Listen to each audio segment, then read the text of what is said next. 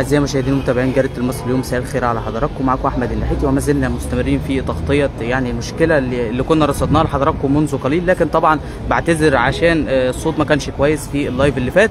آه، الحاجة كريمة يعني كانت ماشية في بيتها في أمان الله تقريبا داخلة الحمام انزلقت آه، في بيتها ويعني خدوها طبعا أولادها اللي ظاهره أمام حضراتكم في الصورة. الأستاذة أمنية بنتها راحوا يكشفوا عليها قالوا لها قالوا لهم دي عندها كسر في الحوض.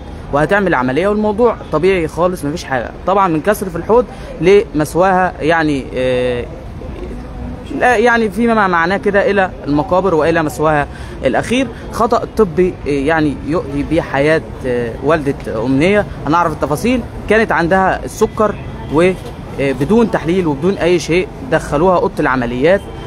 وحصل اللي حصل هنعرف التفاصيل. يعني قولي لي اسمك إيه وعندك كام سنة؟ اسمي أمنية عندي 35 سنة. إيه اللي حصل بقى لوالدتك؟ والدتي آه، وقعت يوم الجمعة اتزحلقت كانت داخلة تتوضى عشان تصلي صلاة الجمعة فوقعت واتزحلقت. أنا كنت مسافرة في التوقيت دوت. كلمتني واقعة مع إني أنا كنت مسافرة بس اتصلت بيا وقعدت تصرخ في التليفون إن هي وقعت على الأرض وإن هي مش قادرة تتحرك. طبعا إخواتي كانوا معاها في البيت آه، تحت إن إخواتي متجوزين معاها في البيت. كلهم طلعوا على صوت صريخها حاولوا يقوموها ما قدروش ما قدروش يلمسوها. كان الألم شديد قوي عليها. وبعدين راحوا طلبوا إسعاف. الاسعاف نقلتها على مستشفى تأمين في التأمين آه، هناك عشان خاطر كانت أجازات عيد والكلام ده وأمي كانت واقعة يوم الجمعة وقالوا إن ال- الدكاترة لسه هتيجي يوم الثلاث أو العمليات كانت لسه هتشتغل يوم الثلاث طبعا هي مش متحملة يعني ألم رهيب وطبعا إخواتي راح قالوا خلاص يعني هي مش متحملة وعمالة تصرخ مشوني من هنا. يعني حد يلحقني من الألم اللي أنا فيه. إخواتي 63 راح إخواتي آه، حد رشح لنا المستشفى في مدينة نصر؟ آه، جبنا إسعاف. إخواتي نقلوها المستشفى. آه، كنت أنا لسه جاي من السفر على طول وأنا اللي ركبت معاها الإسعاف وأنا اللي رحت معاها. أول ما دخلنا المستشفى آه لبسوها لبس العمليات على طول. قلت لهم على فكرة أنا والدتي مريضة ضغط ومريضة سكر. راح قالوا طيب تمام ماشي خلاص إحنا هنظبط لها. بدون أي تحاليل. هم ما عملوش أي تحاليل. قلت لهم أنا عايزة أعمل لماما إشاعة عشان أعرف هي فيها إيه بالظبط. هل كسر هل شرخ هل هل هل. أنا ما أعرفش برضو هي فيها إيه. يعني إحنا الدكاترة في التأمين قالوا إن هو كسر في الحوض. بس إحنا برضو طبعا عايزين نتأكد هو إيه. راح قالوا لي آه، إحنا هنعمل اللازم. طيب ماشي أنا عايزة أعمل إشاعة. قالوا لي انت جايبة إشاعة معاكي؟ قلت لهم لا أنا مش جايبة إشاعة معايا. إحنا ما عملناش أي إشاعة اعملوا لها إشاعة. راحت آه، قالت لي إحنا عندنا في العمليات جوه جهاز بيبين العظم فيه إيه بالظبط وبناء على كده بنشتغل. قلت لهم خلاص ماشي طيب تمام الحمد لله. وطبعا أنا بقول بواثقه لأن أنا ود- موديها مستشفى مش موديها مجزرة يعني. راحوا آه، طيب يا جماعة تحاليل لماما. قالوا إحنا هنعمل لها كل التحاليل وكل الفحوصات. ما خدوش منها نقطة دم قدامي قبل ما تخش العمليات ولا عينة اتاخدت من أمي. يعني نهائي. أنا عمالة أقول لها والله العظيم. أيوه. أنا لأن أنا شايفة إن الأمر مش طبيعي. وبعدين راحت قالت لي إحنا عارفين شغلنا. طبعا لما هي قالت لي كده قلت خلاص طبيعي إحنا وديناها المستشفى ومدينهم أمانة. خلاص رحت سكت. أمي دخلت العمليات. يا دوبك إحنا رحنا المستشفى ما كملناش آه، نص ساعة آه، في التجهيزات اللي هي اللبس بس الروب العمليات ده اللي لبسته. وجم ياخدوها عشان ينزلوها غرفة العمليات. أنا ما سبتهاش لحظة. أنا نزلت معاها حتى في الأسانسير لما هم خدوها. قالوا لي انزلي على السلم. قلت لهم لا أنا خليني معاها. ونزلت معاها لحد ما دخلت. خ... ح... لحظة بلحظة. أنا ما سبتهاش لحظة واحدة. لحظة لأن هي ماما يعني وإحنا في الإسعاف كانت ماسكة إيدي وبتقول لي ما تسيبنيش. فوالله ما سبتك يا أمي ما سبتهاش. لحد ما دخلت العمليات وأنا واقفة قدام باب العمليات لدرجة إن هم خدوها وأنا يعني قلبي يعني مش مطمن على أمي لدرجة إن أنا عمالة أبص من الخرم كده بتاع العمليات. بس هم طبعا باب جوه باب أنا طبعا ما شفتش حاجة. وفضلت قاعدة قدام باب, باب ال- يعني أنتوا في كل الأوقات دي من أول ما والدتك وقعت الأمر مش مريح خالص. أنا مش مرتاحة بس في نفس الوقت بقول خلاص ده أمر طبيعي يعني هم عارفين شغلهم. بتكلم من أول ما وقعت آه، كسر في الحوض. أنا صدمة أنا مصدومة أنا مصدومة صدمة عمري. أقسم بالله أمي وقعت وقعات كبيرة قد كده وكتيرة ودخلت رعايات قبل كده بس كانت بتتكلم معانا وكانت بتقوم وكانت بتبقى كويسة وكانت بترجع تمشي تاني وكل حاجة. وكانت كويسة ما فيهاش أي حاجة. المرة دي بقول يعني وقع يا أمي وقع وقع. كسر في الحوض تموتي فيها؟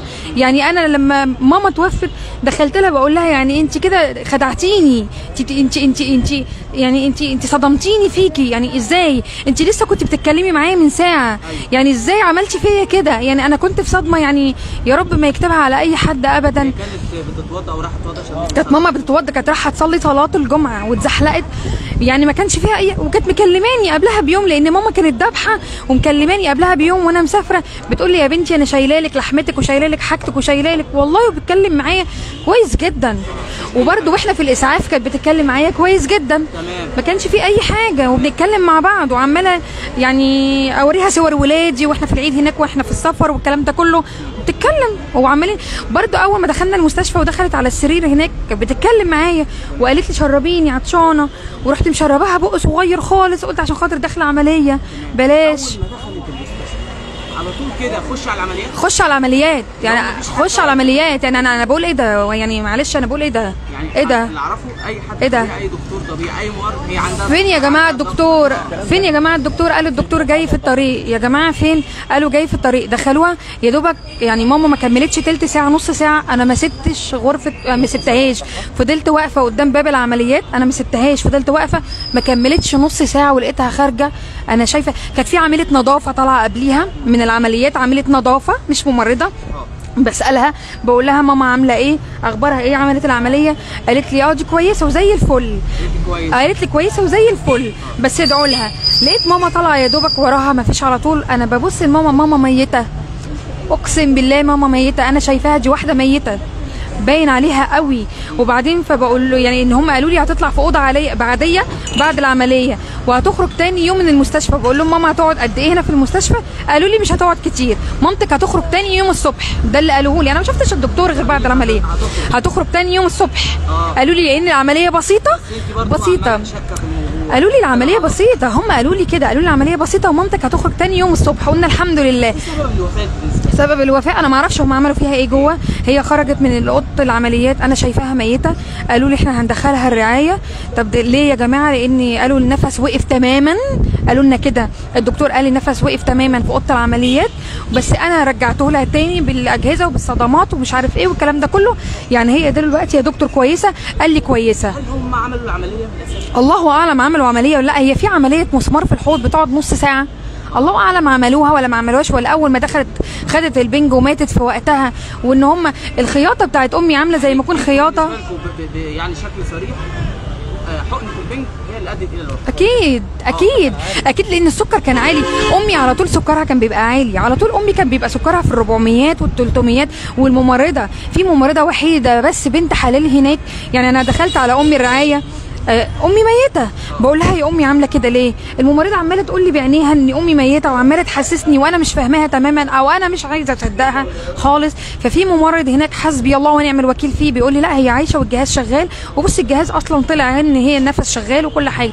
بقول له يعني ماما عايشة؟ قال لي عايشة بس هي كانت ميتة. والممرضة بتبص لي عايزة تنبهني إن أمي ميتة. وأنا كل دوت مش فاهمة لأن أنا مش عايزة أستوعب. في ممرضة عايزة عايزة تقول لي وعمالة تبص لي وعمالة بتقول لي إيه بقول لها ماما كويسة.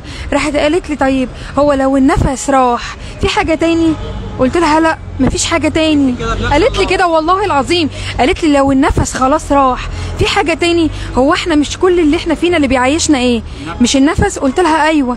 قالت لي طيب إيه تاني؟ وأنا كل ده حاسة إن أنا مصدومة. أنا حاسة إن أنا كنت فاقدة الوعي أو إن أنا مش عايزة أفهم أو أنا مش عايزة أفول على ماما أو الكلام ده كله. حاسة إن أنا في صدمة. دلوقتي أنتوا مشيتوا وأخدتوا إجراءات قانونية في الموضوع؟ إحنا أنا لا بس أنا أول يعني أول ما طلعت من غرفة الرعاية دخلت للدكتور. بقول له ماما عاملة إيه؟ أخبارها إيه؟ العملية أخبارها إيه؟ قال لي العملية كويسة وأخبارها إيه؟ زي الفل وما فيهاش أي حاجة. بس ادعوا لها إن شاء الله إن هي تبقى كويسة. وكان بيكلمني مرتبك جدا جدا جدا. أقسم بالله الدكتور بيكلمني مرتبك بيكلمني أنا وأخويا وكان مرتبك. والمفروض على الأقل حتى يبص عليها بعد العملية. والله العظيم ما دخل ولا بص عليها. وبعد العملية مباشرة راح لبس ومشي ما شفناهوش تاني. مش مهتم. خالص ولا اهتم ولا دخل بص عليها. ولا وهي ك- ميتة. قال لي تمام وهي ميتة ولا دخل ولا بص عليها ولا أي حاجة وراح لابس. وإحنا شايفينه وهو ماشي قدامنا إحنا بس تخيلنا إن هو واقف تحت. إن في أي حاجة؟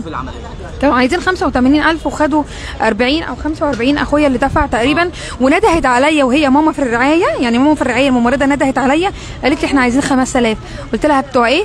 قالت لي اليوم في الرعاية ب 5000 قلت لها طيب ماما هتقعد في الرعاية كام يوم؟ قالت لي الله أعلم الله أعلم قلت لها طيب قالت لي طب روحي دلوقتي.